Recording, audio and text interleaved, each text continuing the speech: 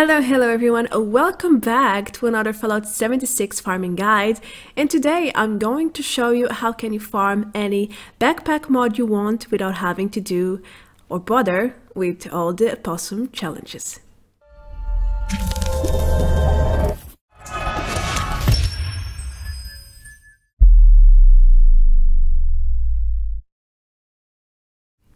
Hello again! Are you ready to find out how can you get any backpack mod that you want?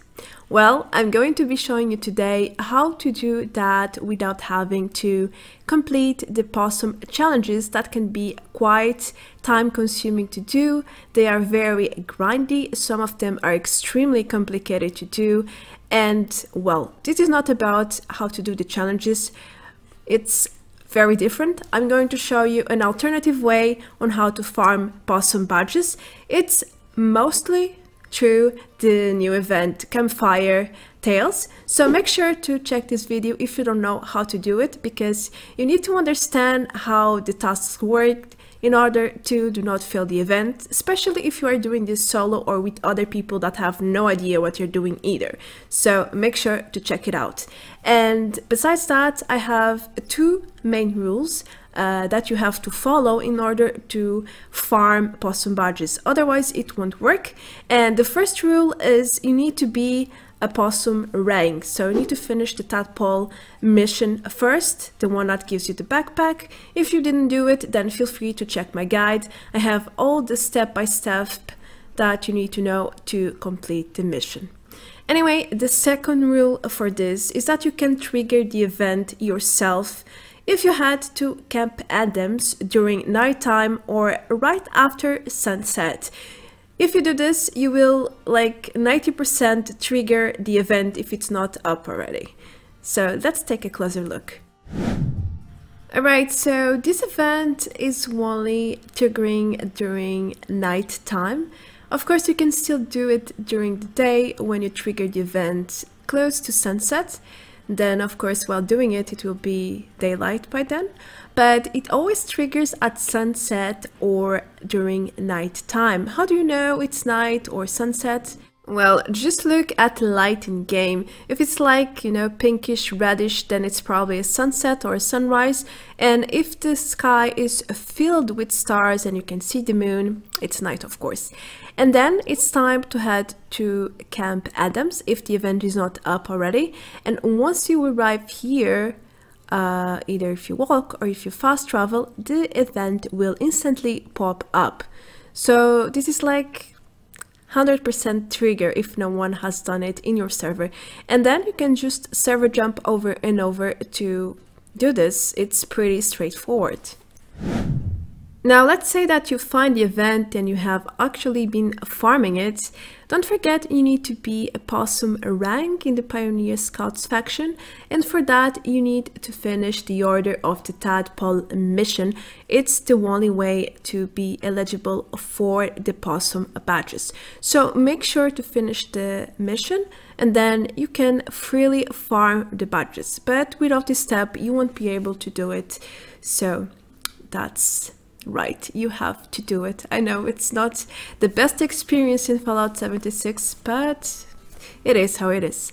Anyway, you can also get possum badges by completing any possum challenge. You will get one badge per challenge, which is ridiculous for the amount of work they ask of you. And you can also occasionally get badges from the repeatable uh, missions from the Pioneer Scouts. So for me, it has been around 1 in 10, summing up uh, the bug mission with the toxic waste mission.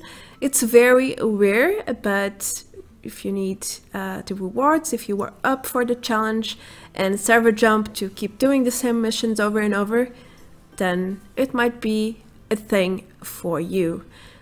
Anyway, with this information in mind, let's keep moving and check how can you farm the Campfire Tales event and get as many possum badges as you want or need for your backpack mod. Okay, so all you need here now is a bit of luck and patience because you will want to wait for nighttime or server jump and be lucky to find a starry sky out there and then move to Camp Adams as I just mentioned and let the farming begin.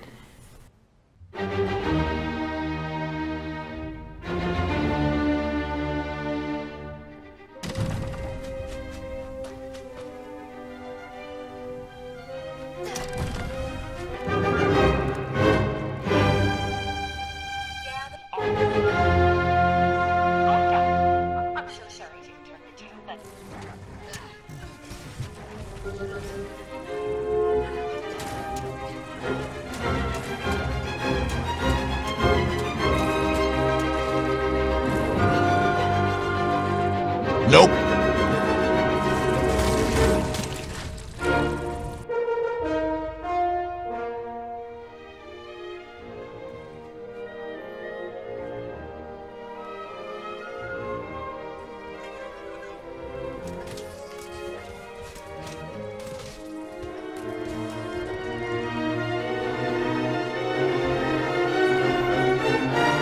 Nope.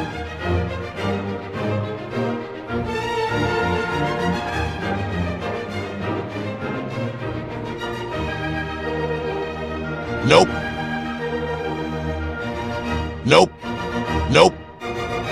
Nope.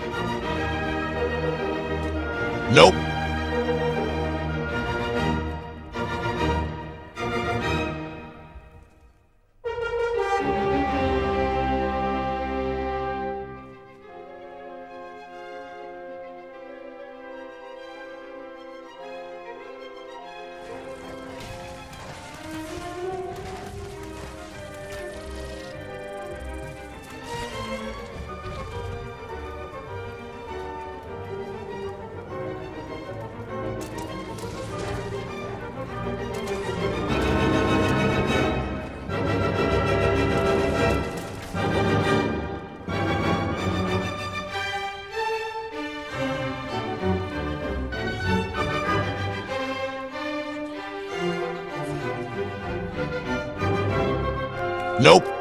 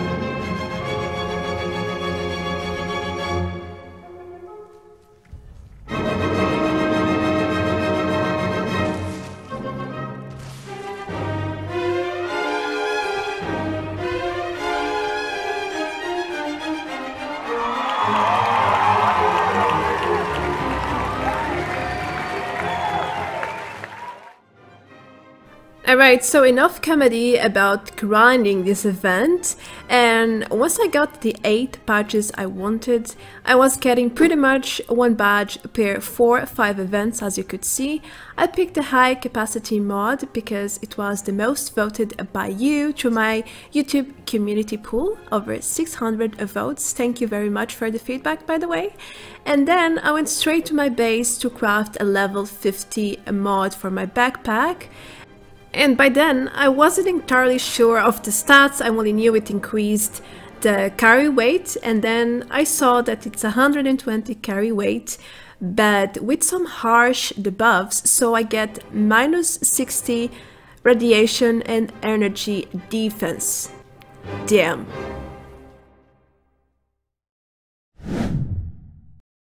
The community asked and I delivered. So my first backpack mod is the high capacity and it's extremely good for farming and carrying things around.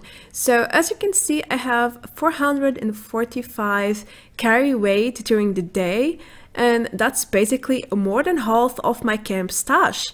It's impressive. I can carry like 30 weapons, uh, tons of aid items, junk, and I no longer have to do 10 runs to farm random items to sell to the vendors to reach the limit cap of uh, 1400 I can do it in like one two or three runs if I don't want to be overweight at all. So it's quite impressive because I also can gather all the legendaries I don't want and come in one go and sell them all for scrip it's just so so nice in terms of utility and uh, time saving. So i think you should have this backpack mod just as your second backpack you know for farming and for carrying things around. But you cannot forget the debuffs because they condition your gameplay and combat system a lot. In terms of survivability it's a very worrisome because any source of radiation or energy, you are taking over 50% more damage. And for example, here when I get close to this extractor, you can see my rads jumping like mad. So with this backpack, I have to constantly be eating or drinking radaways, like all the time. I'm not kidding. So I'm doing a lot of events to make sure I have enough all the time. For example, crossing this bridge here in this mine is just, uh, okay, I'm ready to go to my decontamination shower. And yeah, so I'm visiting my camp all the time now to get rid of the rads. It's quite annoying. So I'm actually thinking about if it's so worth in terms of time saving for items since I also have to return. Uh, yes, and energy weapons from robots in particular do way more damage now as well, so be careful if you are using this mod for fighting and combat. So make sure to stay away from places with high radiation because you will most likely get in a very bad state or be forced out or even die and you don't want that. Fighting irradiated enemies is also a no-go for this build or when you are using the backpack. For example, fighting feral ghouls is a pain in the ass because every time they hit you, as you can see, I am getting 75 radiation into me. It's just too much, it's it's not viable. So either make sure they don't hit you or don't use this backpack at all. Moreover, when you are doing the Scorch Beast event, make sure to get inside um, Power Armor and pop up your Rad X because this might happen. So I server jumped in here and once everything loaded, I was inside the nuked area and yeah, pretty much no radaways can save me from that. And here the same, I just fast traveled into the nuked area and I have no time to do anything. By the time I spawn my power armor, I'm already dead. Then the auto respawn came and I'm again dead. So respawning in another area is the only solution to actually get over this. So that's going to be everything for this video. I hope you enjoyed my farming tips and tricks for possum badges. I tried to be as explicit as I could be and don't expect the badges to pop up every single time you do the event because that's not the way it works. It's around one every four, five events, at least in my case. I did way more events than the ones I have portrayed in this video, but for the sake of time, I did not include every single one of them. And yeah, that's going to be all. If you liked the backpack mod or, you know, if you didn't like, also let me know in the comment section below what's your opinion on this expensive 8-patch mod that is good for some things but not so good for others, which is completely normal because uh, backpack mods work a little bit like mutations. They give you a buff, but then you will have to face the consequences with the debuffs as well.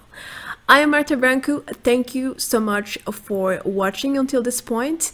If you like the content and you are new around, then don't forget to hit that subscribe button below. Also, if you'd like to support me even further, don't forget to check my new Patreon page. You can support me by $1. It's the lowest tier, so make sure to check it out. And I'm going to see you very soon in a next video. See you then.